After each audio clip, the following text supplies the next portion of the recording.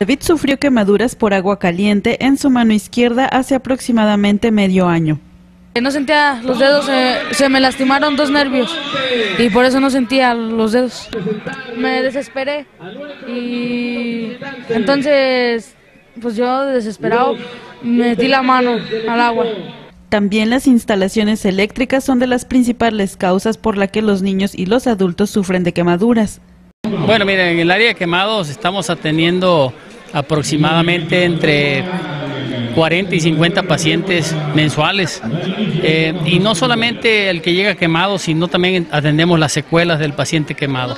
Algunas de estas quemaduras son consecuencia de accidentes, como le sucedió a José Nicolás, hermano de Luis Andrés.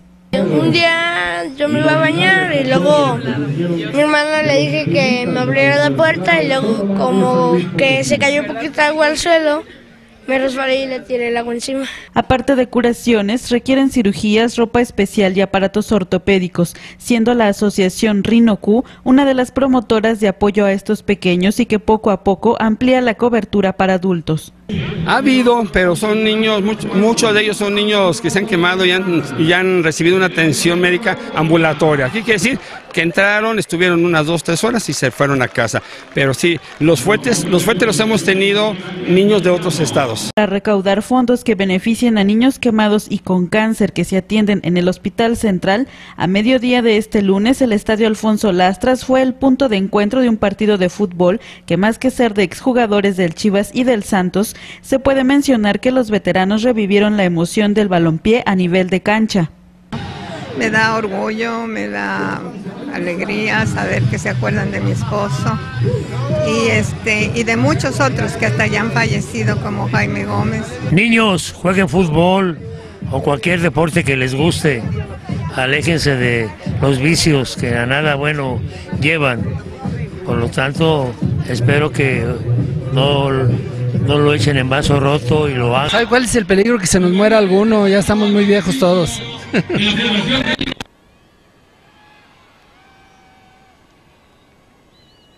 Con un marcador final de cinco goles por parte de la escuadra rojiblanca a un gol de parte de los Santos, los participantes manifestaron que este tipo de labores deberían realizarse de forma continua.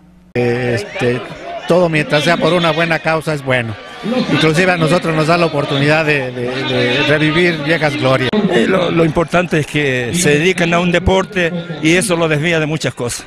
Eso es para los De los goles del Chivas, tres estuvieron a cargo de Juan Carlos Elizondo, uno por Oscar Cisneros y otro por Francisco Dinamita Romo. El gol de la honra a cargo del San Luis lo anotó Luis El Pollo Arteaga. Cabe señalar que con una asistencia de aproximadamente 1.200 personas se aprovechó el medio tiempo del encuentro para entregar reconocimientos a los jugadores de San Luis que pasaron de tercera a primera división del fútbol mexicano de 1969 a 1971. Planoinformativo.com, Aime Torres.